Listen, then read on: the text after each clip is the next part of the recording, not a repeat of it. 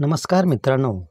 आज आपण मराठी माध्यमाच्या प्राथमिक शाळेत शिकणाऱ्या विद्यार्थ्यांसाठी एम इज आर या सहाय्यकारी क्रियापदांचे अर्थ आणि उपयोग शिकणार आहोत.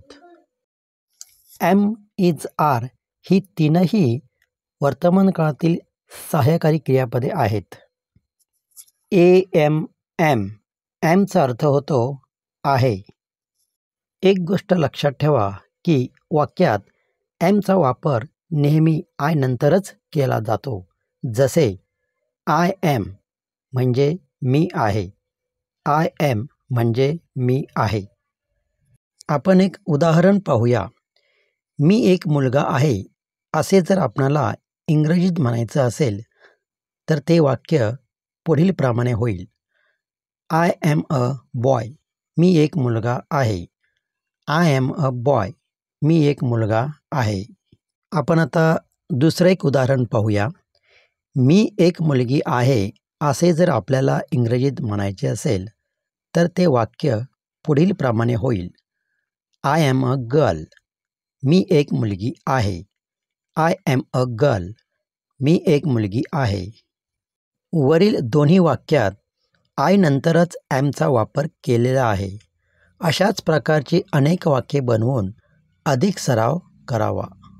आपण आता पाहूया पुढील एक सहाय्यकारी क्रियापद. Is. I S is. Is म्हणजे आहे. या ठिकाणी एक गोष्ट लक्षात ठेवा की ईजचा वापर नेहमी ही शी इट यांच्यानंतरच केला जातो. जसे ही इज तो आहे. शी इज ती आहे. इट इज ते आहे. तसेच इजचा वापर एकवचनी नामानंतर सुद्धा केला जातो.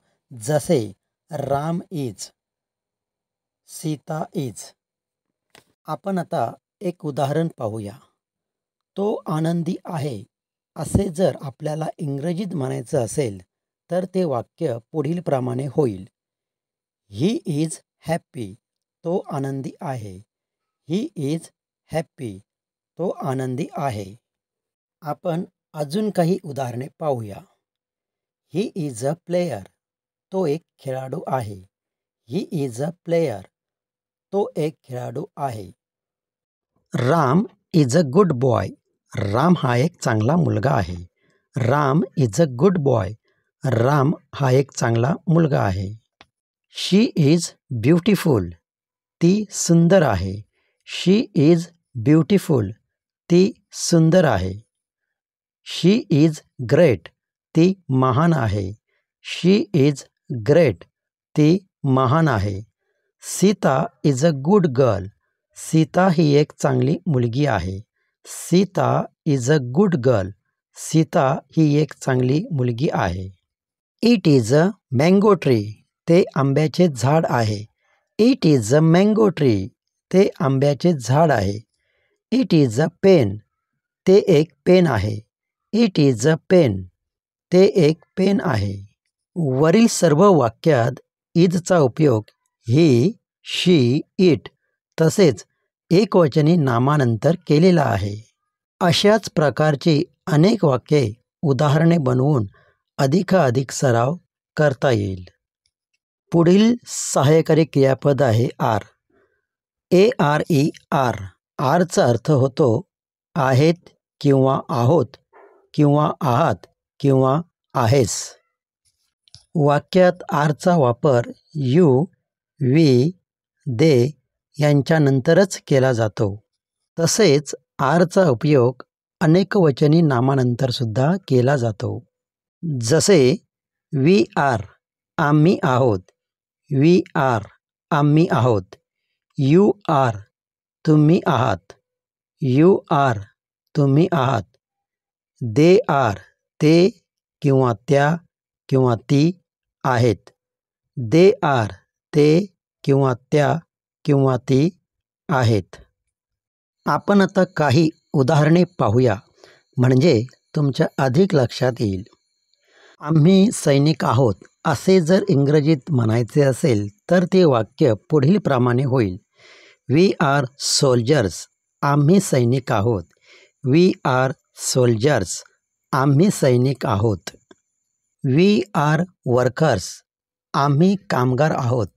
वी आर वर्कर्स आम्ही कामगार आहोत. यू आर गुड तुम्ही चांगले आहात. यू आर गुड तुम्ही चांगले आहात. यू आर माय फ्रेंड तू माझा मित्र आहेस.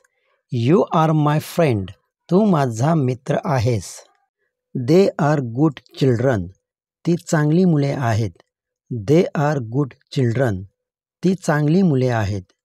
दे आर बॅड पीपल ती वाईट माणसे आहेत. दे आर बॅड पीपल ती वाईट माणसे आहेत.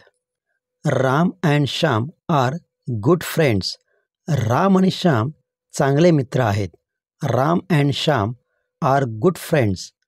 Ram आणि श्याम चांगले मित्र आहेत. वरील सर्व वाक्यांचा आपण जर विचार केलात आणि निरीक्षण केलात तर आपल्या असं लक्षात येईल की आरचा वापर हा वी यू दे यांच्यानंतरच केलेला आहे. तसेच अनेक वचनी नामानंतरसुद्धा केलेला आहे. अशाच प्रकारची अनेक वाक्ये बनवून अधिकाधिक सराव घ्यावा किंवा सराव करावा. एकंदरीत हा व्हिडिओ पाहिल्यानंतर तुमच्या लक्षात आलं असेल की ॲमचा वापर आयनंतर केला जातो आणि इजचा वापर ही शी इट आणि एकवचनी नामानंतर केला जातो. तसेच आरचा वापर वी यू दे आणि अनेकवचनी नामानंतर केला जातो. धन्यवाद. अशाच प्रकारच्या विविध शैक्षणिक व्हिडिओंसाठी आमचे केम व्हिडिओ सबस्क्राईब करा. धन्यवाद.